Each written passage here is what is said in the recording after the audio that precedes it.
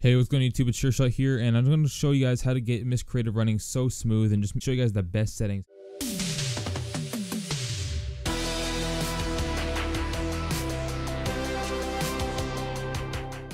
I had a couple people in my stream ask me like what settings I was using, and people just always come in. So I thought if I go ahead and make a quick tutorial video, go ahead and just send people the link. They go ahead and do it themselves right away. I don't have to go ahead and sit there in the stream for a couple minutes and go ahead and explain everything, and people can just go ahead and do it themselves. So the very first thing you want to go ahead and do is open up Steam. Now when you get these settings, the game's going to run a lot more smoothly and the FOV is going to be changed. There's so many good settings that are going to be coming out of this and you guys are really going to enjoy it. The only thing though, when you're changing the FOV, it's going to zoom out the camera a little bit. It may look weird at the very beginning, but trust me, it's going to be worth it in the long run and you will get used to it. Once Steam's open, you want to click on Games and view your games library. Just get to your games library and find Miscreated. Once you found Miscreated, right click on it and click Properties. You're then going to go to local files and then you're going to click on browse local files. Once you're there, go ahead and you're going to see this one at the very, very bottom. It's the last file. It's going to be system.cfg. Now, I already have it here. Just ignore it. Pretend it's not there. So, system.cfg. You're going to right click on it. You're going to press copy. You're going to right click in the white space, press paste, and now it's going to make a system copy.cfg.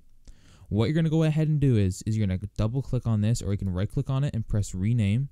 You're going to rename that to user.cfg. Now, once you've done that, you're going to have system.cfg and user.cfg.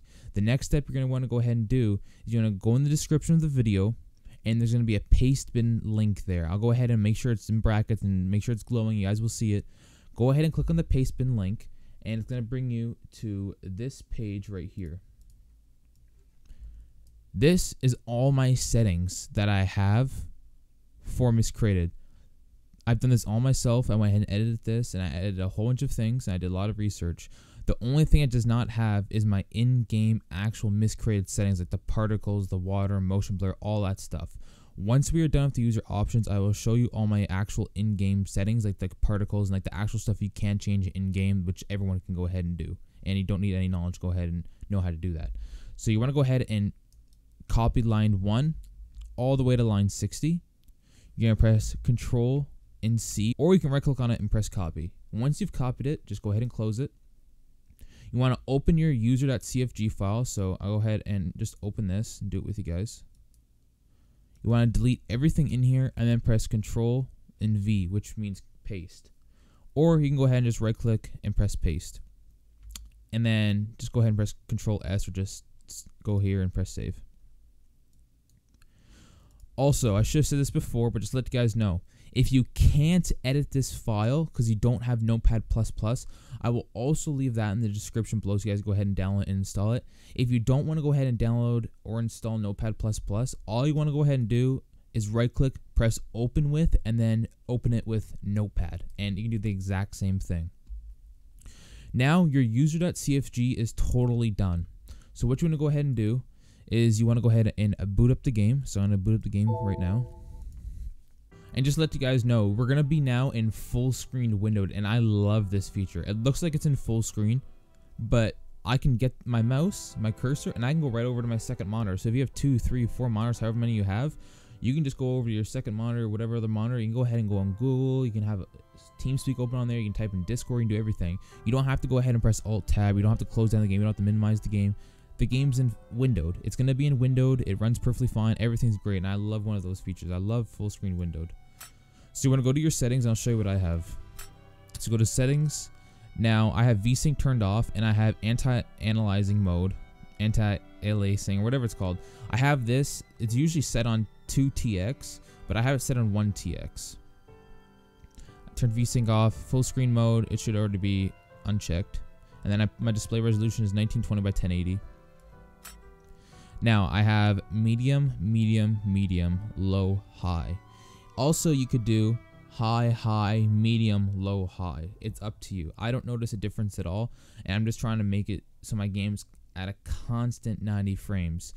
Mostly, the one that's going to take more CPU power and graphics power is going to be your objective detail. The game effects is like fire, smoke grenades. There's basically anything that's an effect like sparks, like rain, stuff like that. Like just the effects in the game. If you want, you could bump this up to high.